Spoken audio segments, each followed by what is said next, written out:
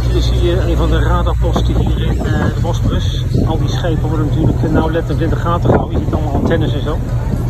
Nou, er staan er vijf op de hele breedte. Er staat er ook eentje in uh, Uskudar en eentje bij... nou, er staat er eentje nog. En dit is een... dit is een 10 centimeter radar. Die draait niet zo hard. Kan dus die hele, die hele boel uh, bekijken. Hier is ook een keer, kijk we zijn nu in uh, Kanija. Dit is een uh, bekende plek voor de yoghurt. Kijk, je ziet hier ook op dat, op dat bordje, zie je, zie je. Kanija Yorodu.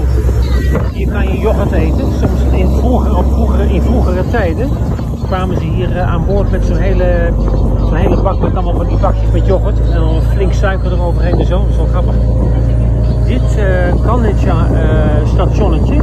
Hier is een keer een schip gewoon doorheen gevaren.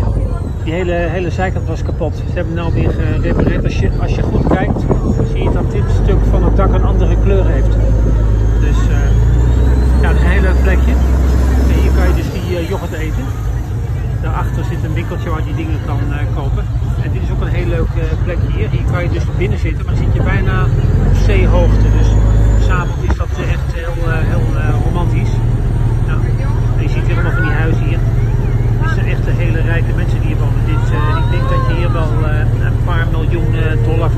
voor zo'n eh, zo'n pand.